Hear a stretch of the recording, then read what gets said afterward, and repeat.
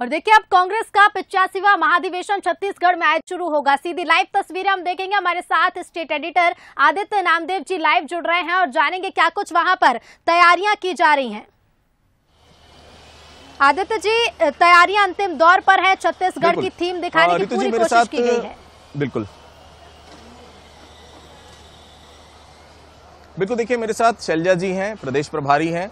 मैं सीधा उनसे बातचीत करता हूँ। मैम बहुत बड़ा आयोजन है छत्तीसगढ़ के लिए। इतने सालों में पहला राष्ट्रीय अधिवेशन छत्तीसगढ़ में। और उस समय जब सरकार, उस समय जब बहुत सारे हर्डल्स भी आ रहे हैं इस सम्मेलन के लिए, किस तरह से देख रहे हैं इस सम्मेलन? ये तो आप ये समझ लीजिए कि पहला अधिवेशन ही है ये, पूरे पुराने मध्य प्रदेश से लेकर अब तक। एआईसीसी का महाधिवेशन पहली बार हो रहा है और हमें खुशी है कि इतने अच्छे ढंग से, इतनी तैयारियाँ सभी कांग्रेस जन लगे हुए हैं। पूरी पार्टी लगी हुई है।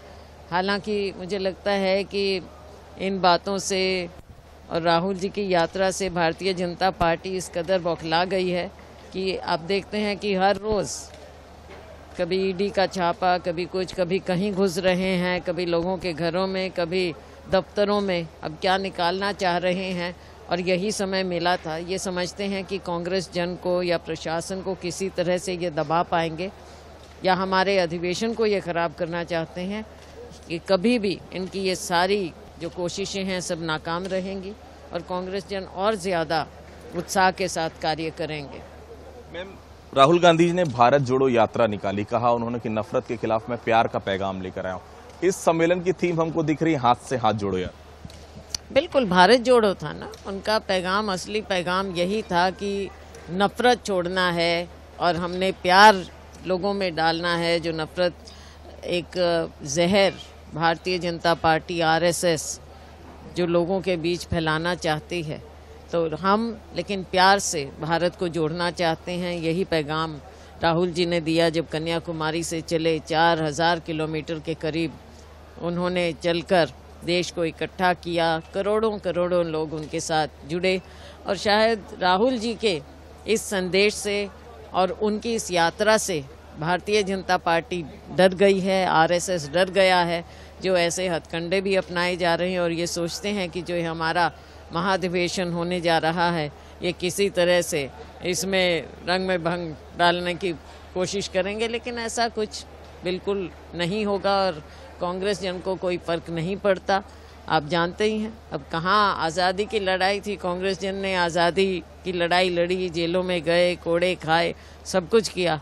तो हम तो ऐसी पार्टी के छोटे छोटे कार्यकर्ता हैं। हम ऐसे डरने वाले दबने वाले नहीं। संविधान संशोधन का इंतज़ार कर रहे हैं। हो सकता है कई नेताओं को ये भी लग रहा हो कि अगर 50-50 का फॉर्मूला आ गया तो क्या होगा?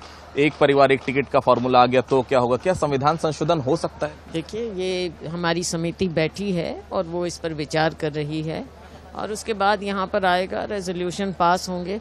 जो भी होगा पार्टी के हित में होगा देश के हित में होगा और सभी को मान्य होगा। तो इसमें इफ़ एंड बट का तो कोई सवाल ही पैदा नहीं एक आखिरी सवाल मैम सीडब्ल्यूसी का चुनाव की भी बात आ रही है कि वोटिंग होगी मनोनयन होगा क्या होगा कुछ इस तरह की बात नहीं। आपको पता चल जाएगा एक दो दिन में। चलिए बहुत बहुत धन्यवाद। तो ये थी हमारे साथ शैलजा जी प्रदेश प्रभारी हैं और जैसी प्रदेश प्रभारी बनी देखिए पचासीवा राष्ट्रीय अधिवेशन महाअधिवेशन का नाम इसने दिया है कांग्रेस पार्टी ने। हाथ से हाथ जोड़ो इसकी थीम है भव्य पंडाल है इसके पहले भी हम लगातार दिखा रहे हैं। तेरह हज़ार से ज़्यादा यहाँ पर उसके अलावा टोटल करीब दो लाख लोग इस पूरे पंडाल में आपको नज़र आएँगे। 24 को केवल स्टैंडिंग कमेटी और आ, सब कमेटियों की बैठक है और उसके बाद दो दिन पूरा यहाँ पर आपको लोग नज़र आएँगे। मंच पर स्टैंडिंग कमेटी सीडब्ल्यूसी के मेंबर्स प्रदेश अध्यक्ष नेता प्रतिपक्ष जो भी हैं विधानसभा के वो तमाम लोग रहेंगे। तो कुल मिलाकर रायपुर पूरी तरह से तैयार है इस राष्ट्रीय महाधिवेशन के लिए। ऋतु बिल्कुल आदित्य जी रायपुर पूरी तरह से तैयार है और अभी प्रदेश प्रभारी कुमारी शैलजा को भी हमने सुना उन्होंने बताया कि किस तरह से तैयारियाँ की गई हैं और क्या कुछ उद्देश्य इस महाधिवेशन का है। शुक्रिया फ़िलहाल आदित्य जी आपका हमसे जुड़ने के लिए।